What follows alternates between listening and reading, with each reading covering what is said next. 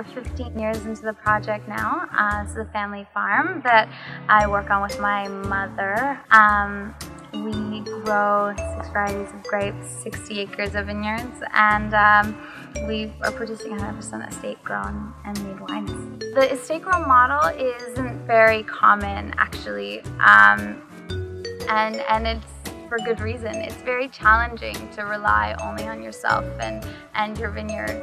And so to be able to um, produce these wines uh, and have them shine is, is very fulfilling. Um, and I think ultimately a really unique experience for, for consumers. Really being out in the vineyards is my favorite part. So this, uh, this tour has been great. Um, it's really where you can see your hard work shine, right? Uh, if you work hard, your vineyards are happy, you get beautiful fruits, and then making delicious wine is easy.